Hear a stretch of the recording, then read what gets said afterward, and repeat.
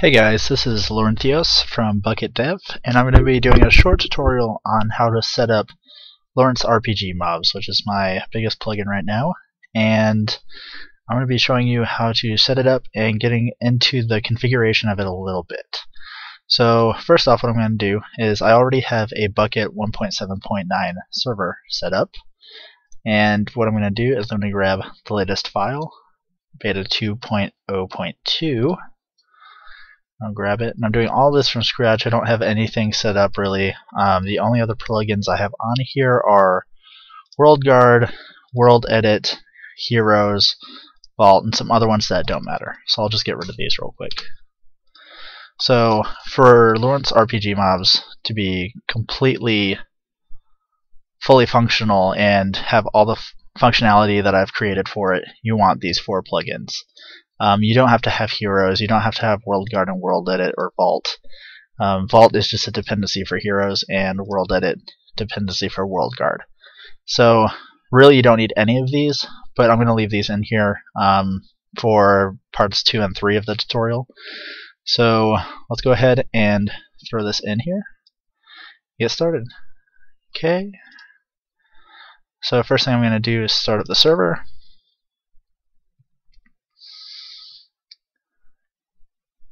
And the first thing to note is a small issue that I still need to address and fix. Um, it's not really an issue, it's just kind of a convenience thing. Is right when the server first starts, it's going to load all the config and like make all the files, but it doesn't actually do anything with them. So right now it's just an empty plugin that's loaded. So what we're going to do is reload it, and now the plugin is functioning how it's supposed to. So if I hopped on right now, go ahead and get on Minecraft. And again, this this version only works with 1.7.9. There are some changes in the normal Minecraft server code that are pretty substantial enough to cause issues on different versions. So 1.7.9 RO.2, if that makes any sense, is what I'm using for this. It should work with RO3 as well, but I'm using RO2 right now.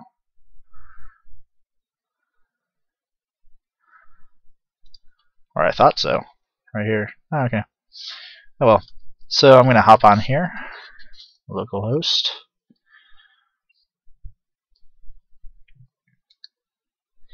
And I should see from the start monsters with tags. So let me come over here and look at this guy. Yes, he has a tag. Perfect. Um, I'm going to have go ahead and butcher just to make sure it's all correct. So if I spawn a guy, yes, he has a level. Okay, so first thing I'm going to show you guys is the config file. Um, this is pretty much the most basic part of the plugin, and it's not really getting into all the major configuration of distance of creatures or changing how much damage or health they do. That's in the monsters.yml file, which will have its own separate part in tutorial this tutorial series. So looking at the config.yml, we have the version, which is wrong. It should say beta 2.0.2, but I was dumb and of course did not update the YML. And then also we have bonus MC experience, spawner allowed, language, override heroes EXP. So essentially, if you're going to be using my plugin and heroes, most likely you want to set this to true.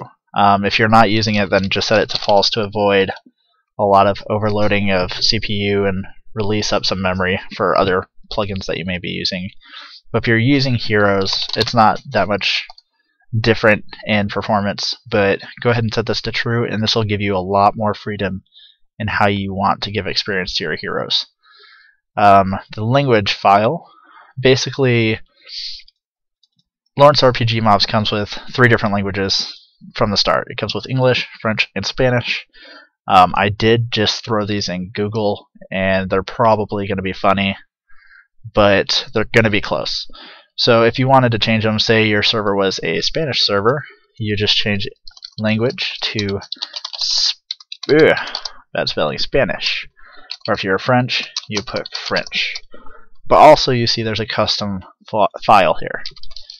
All you have to do is put in custom, and then you can jump in this and I use Notepad++. If you just have normal Notepad, shame on you. Get Notepad++ if you're a server owner, um, or some other text reading thing that's not Notepad.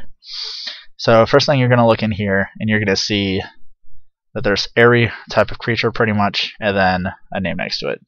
So by default, it's all just English, um, but you can change this. For example, I have skeleton in my hand, so I'm going to change this. We're going to make it ghastly figure. Oop. I cannot spell right now. So I'm going to do that. And then in the config, we're going to leave that as custom, save it, and now I'm going to use Lorinths RPG Mobs reload command. So now let's go ahead and butcher everything. And if the skeleton can just pop up here, just so I can show you guys that this is normal spawning. There's some zombies, normal zombies. Gosh, no skeletons. Okay, I'll just pop one down. And ghastly figure is its name. So as you can see, that's working perfectly fine. A known bug, which is Bukkit side and not mine, is that the yes reload um, the zombies. When you spawn a zombie with a spawner egg, they look like scrolls on here. But if you spawn it with a spawner egg, it actually takes the type as pig zombie. And we all know that's not correct. That's just a normal zombie there. But Bukkit thinks it's a pig zombie. So when you're editing things on here um, for a couple versions until they fix it, I, it might be fixed in R03 for all I know.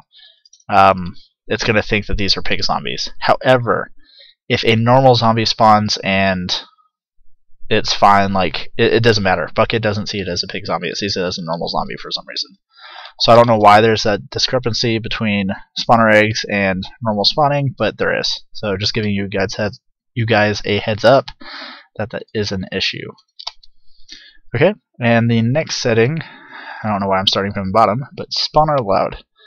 Basically, the setting is a true-false setting, which either allows spawner eggs which I'm using right now, and Minecraft spawners to allowed level mobs.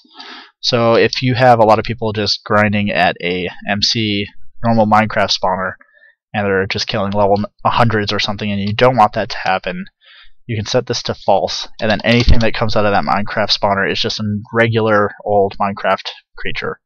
So it'll essentially be like my plugin's not doing anything to them. So let me go ahead and set this to false, for example. And right now, you see they're getting the name tags and they're getting the levels. If I reload the server now, no, not that, just LRM reload, and I start using spawner eggs, you're going to see that they're not going to have tags, or they shouldn't anyways. So here we go. No tag. Nothing on there that shows anything that he's special. He's just a normal zombie. Nothing going on. So that's how that works. That's going to do spawner eggs and regular Minecraft spawners. So let's set that back. Reload Lorinths RPG mobs. Alright, and the final thing is bonus Minecraft experience. Now this is changing how much enchantment experience you get in Minecraft. So if I was to change out of game mode right now, number one, all these zombies would kill me.